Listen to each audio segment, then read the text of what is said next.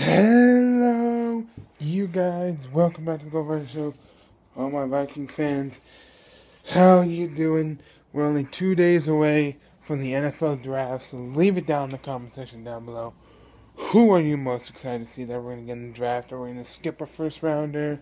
We're going to go somewhere else and trade up? Or what do you think? You think we're going to still get Will Hernandez? A lot of people say we're going to go for a tight end. A lot of people, it's a mix up.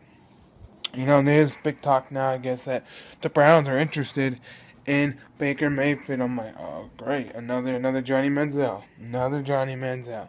And I'm hearing that the Browns want to go for not one, but two quarterbacks in this draft. So whether it be Sam Darnold and Baker Mayfield or Sam Darnold, Josh Rosen, I don't know, USC and UCLA combo.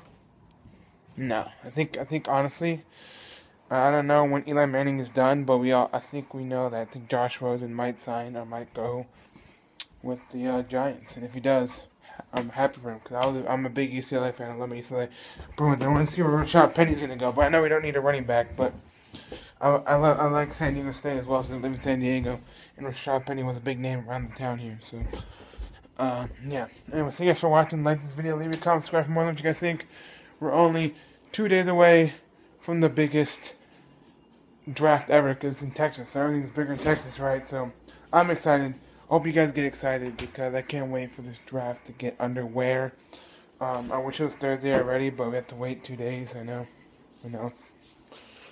So anyway, thank you guys for watching, and I'll see you later. Bye, y'all.